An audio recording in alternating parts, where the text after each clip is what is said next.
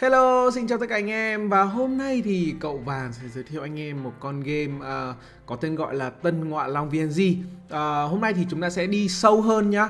Lần trước thì mình cũng gọi là review um, qua qua rồi nhưng mà sau khi mình chơi thủ khoảng à, uh, 15 phút ấy mình cảm thấy là game rất là bành cuốn, rất là nhiều tính năng hay ho nên mình cũng đã quyết định là cày con game này anh em ạ. Đấy và hiện tại thì à, mình cũng à, cày lên level cũng khá khá rồi. Nói chung là con game này thì mình sẽ quyết định chơi cũng dài hơi đấy anh em ơi.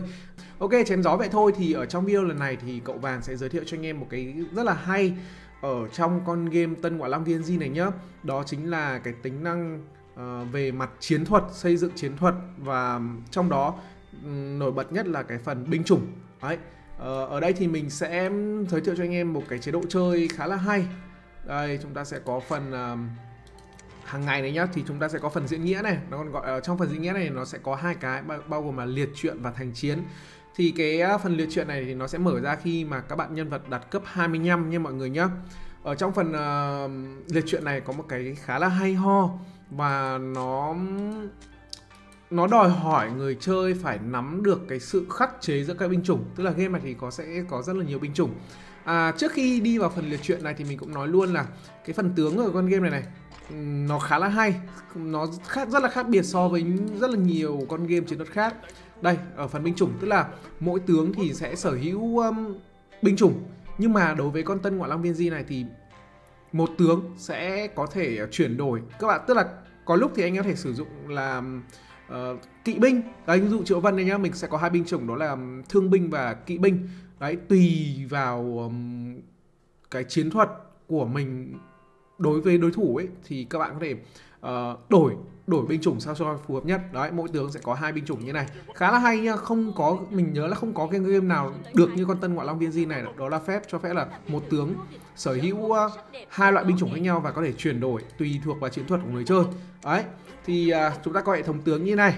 Đó, chúng ta sẽ có rất nhiều tướng này thì các bạn cố gắng là xây dựng tướng nhá nó sẽ liên quan các bạn sau này đánh cái phần chiến dịch này nó cũng rất là quan trọng. Và các bạn sẽ phải đánh cái phần chiến dịch này thì nó mới mở khóa cái phần uh, liệt truyện nhé mọi người nhá. Đây một lưu ý ví dụ như là mình đang chơi ở cái phần liệt truyện chương uh, đầu tiên là anh hùng tập kết này. Những cái phần liệt truyện này thì nó cũng gắn với những cái điển tích uh, ở trong có thật ở trong lịch sử tam quốc nha mọi người nhá. Như kiểu là kết nghĩa vần đào này triệu vân truyện này quan vũ truyện này tôn sách truyện đó nó sẽ gắn từng với uh, nhiều nhân vật khác nhau thì uh, ở đây thì ví dụ như là cái tam anh chiến lược 4 này mình chưa mở nhé tức là mình phải chơi cái phần chiến dịch thì mình mình mới mở khóa được cái phần um, cốt truyện tam anh chiến lược 4 thì ở đây chúng ta sẽ mình sẽ chơi trước thử cho anh em xem cái phần kết nghĩa đảng viên này nhá. Thì đại loại đây chúng ta sẽ đến này. Chúng ta sẽ nói đến phần khắc chế binh chủng này nhá. Rất là quan trọng ở phần liệt truyện này. Khá là hay luôn ấy. Đây. Anh em lưu ý nhá chúng ta sẽ có sự khắc chế giữa các binh chủng như kiểu bộ binh này khắc thương binh thương binh khắc kỵ binh kỵ binh lại khắc bộ binh. Đây nếu bạn nào không nhớ thì các bạn sẽ ấn vào cái bảng này cho mình. Đây chúng ta sẽ có phần khắc chế binh chủng nhá. Cái việc khắc chế binh chủng này rất là quan trọng luôn bởi vì khi mà các bạn khắc chế binh chủng của đối thủ ấy thì sẽ tăng thêm 20% sát thương. Đấy và giảm thêm 20% sát thương phải chịu. Đấy, tức là bạn vừa tăng 25% tấn công cũng như là giảm 25% sát thương phải chịu. Nó rất là quan trọng luôn. Rồi, rồi quan hệ khắc chế này chúng ta sẽ có tổng cộng là 5 loại binh chủng.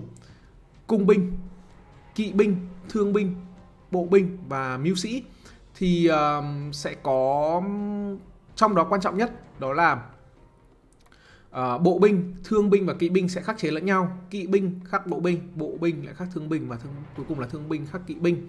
Uh, trong khi đó cung binh sẽ là một cái binh chủng rất là đặc biệt và thường là đứng hàng sau sẽ gây sát thương thêm cho tất cả các binh chủng trừ bộ binh. À, trừ bộ binh nhá anh em lưu ý nhá trừ bộ binh tức là cung cung binh sẽ khắc chế hết nhưng mà trừ bộ binh. Đấy, đấy rồi cuối cùng là quan văn.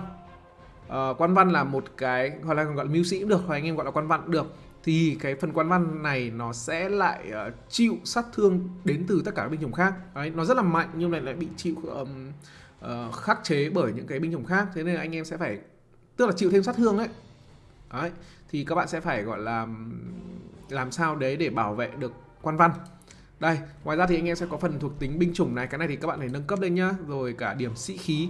Khi mà các bạn vào chiến đấu ấy Sẽ đánh thường sẽ tăng 25% sĩ khí. Riêng quan văn sẽ tăng 34 sĩ khí. Đấy, khi bị đánh trúng thì uh, khi bị trúng đánh thường thì cũng sẽ tăng thêm điểm sĩ khí này. Và điểm sĩ khí này thì sẽ giúp anh em sử dụng kỹ năng.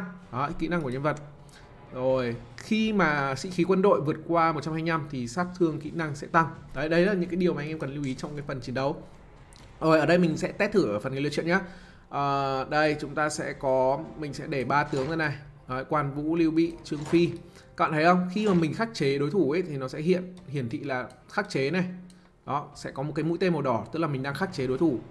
Ở đây thì trương phi chưa khắc chế thì mình có thể uh, chuyển đổi nhá. Đây mình sẽ ấn vào đây mình sẽ đổi ấn vào chữ đổi này. Các bạn nhìn thấy không? Ấn vào chữ đổi này đó mình sẽ đổi binh chủng. Ở đây ví dụ như là cái vạch màu đỏ này mình đang bị khắc chế này. Đó tức là đối thủ đang khắc chế mình bây giờ mình sẽ phải di chuyển sao cho nó hợp lý nhất. Bây giờ chúng ta sẽ phải nhớ công thức đúng không? Các bạn nhớ công thức rồi đúng không? Bây giờ nếu bạn không nhớ thì anh em lại ấn lại cái bảng này thôi. Kỵ binh khắc bộ binh. Đây kỵ binh à, bên kia là bộ binh đúng không? Mình sẽ cho kỵ binh khắc bộ binh này ok. Rồi à, bộ binh thì khắc sẽ khắc thương binh. À, đối thủ. Mình sẽ chuyển sang à, đây, mình sẽ chuyển đổi này. Mình sẽ đổi sang uh, thương binh sẽ khắc kỵ binh. Đấy. Và đây là mình sẽ đổi sang uh, mình mình sẽ đổi sao cho nó hợp lý nhất nhỉ? Đây bộ binh này. Kỵ binh này. Đó khắc này và cùng mình đổi sang. Đấy anh em thấy không? Làm sao để đây mình giàn trải ba tướng ở cái phần liệt truyện này nhá nó quan trọng nhất là cái phần uh, uh, khắc chế đội hình chứ không phải là chỉ số nhân vật nha mọi người nhá. Đó tức là ở trong cái chế độ chơi liệt truyện này thì em sẽ phải tính toán làm sao khắc chế cho đội hình của đối thủ. Đó rồi sau khi ở đây mình đã thấy là uh, đội hình của mình đã khắc chế toàn bộ đối thủ đúng không chúng ta sẽ vào tấn công nha đây các bạn này thấy sẽ thử thưởng thức một cái đồ họa 3D rất là đẹp luôn. Đây các bạn này chuyển đổi góc nhìn này. Đấy, anh em để tăng tốc lên nhá. Cho nó nhanh. Rồi điểm sĩ khí và sẽ sử dụng kỹ năng này. Đấy hiệu ứng hình ảnh. Các anh em thấy không? Đồ họa rất là đẹp luôn đồ họa 3D luôn. Rất là hoành tráng nhá. Wow. Đấy sau khi mà mình đã chắc khắc chế được đối thủ thì chúng ta sẽ dễ dàng chiến thắng thôi. Rồi chúng ta đã vượt qua ải. Um, cái phần liệt chuyện này nó rất là khó nha mọi người nhá. Đây có một cái điểm đặc biệt đó là ở trong cái phần chế độ chơi liệt chuyện này nó khác phần chiến dịch. Đó là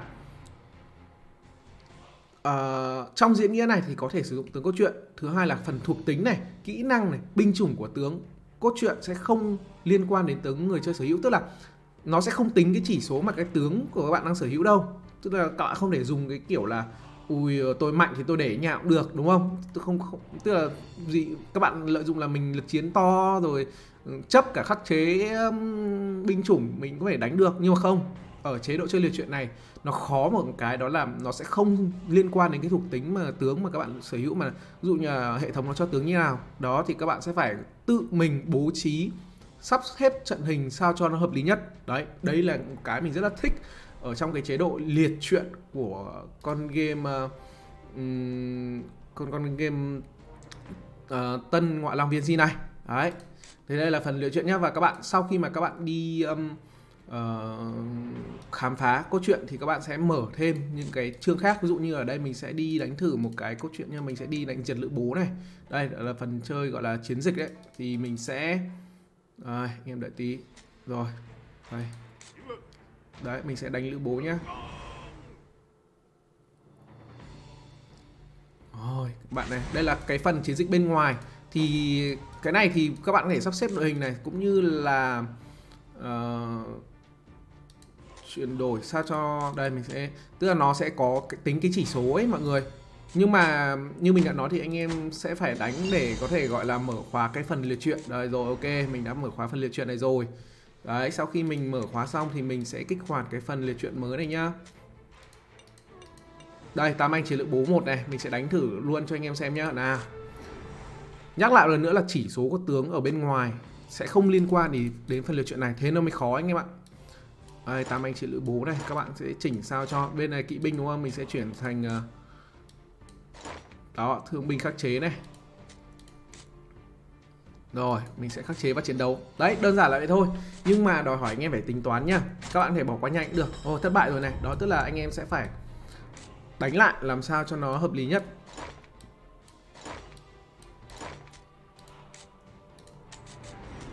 Rồi, mình thử lại một đội hình khác nhá rồi thắng rồi. Đấy anh em thấy không? Mình chỉ cần thay đổi một xíu thôi về phần trận hình là mình có thể giành chiến thắng. Ok thì ở trong video này mình cũng giới thiệu nhanh cho anh em về cái ừ, tính năng gọi là khắc chế binh chủng ở trong con game Tân Ngoại Long VNG này nhá. Mình thấy đây là một tính năng thực sự rất là hay luôn Đặc biệt ở trong cái chế độ chơi có tên gọi là liệt truyện này Một chế độ chơi mà nó không tính cái chỉ số lực chiến của tướng. Nó chỉ dựa vào cái đầu óc, cái suy nghĩ và cái chiến thuật mà người chơi đưa ra để có thể giành chiến thắng thôi thì đấy nếu bạn nào muốn chơi thử cái chế độ chơi liệt truyện này muốn xem uh, mình có thể trổ tài gọi là bày binh bố trận ra sao thì hãy tham gia game Tân Ngoại Long VNG nhá đấy nhắc lại lần nữa các bạn thể tải con game Tân Ngoại Long VNG này trên hai cửa hàng ứng dụng là Google Play cũng như App Store. Cảm ơn anh em đã theo dõi video lần này của cậu vàng. Bạn nào thấy thú vị đừng quên like, share, chia sẻ cũng như là uh, Cảm ơn anh em đã theo dõi video này của cậu vàng nhé. Bạn nếu bạn nào cảm thấy video này thú vị, đừng quên like và chia sẻ video này đến cho bạn bè của mình nhé. Cảm ơn anh em rất nhiều. Bây giờ thì xin chào tạm biệt và hẹn gặp lại anh em trong những video tiếp theo. Bye bye.